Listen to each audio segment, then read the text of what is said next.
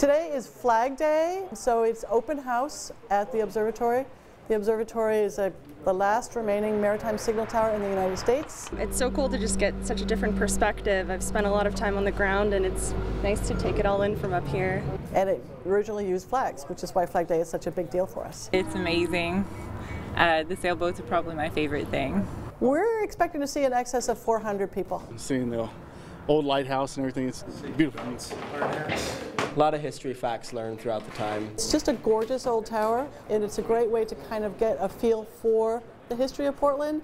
Meanwhile, getting a view of Portland itself. We forgot it was Flag Day, so it's free.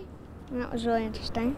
Honestly, the view is breathtaking. It's nice to see the water from that far away and really get a scale of just how far they had to observe the ships from. Love the view up here. I've been up uh, one time before, maybe 15 years ago, so it's got to be one of the best views in Portland. This tower is intrinsically related to the history of Portland. It's been here for 212 years. It's a great view.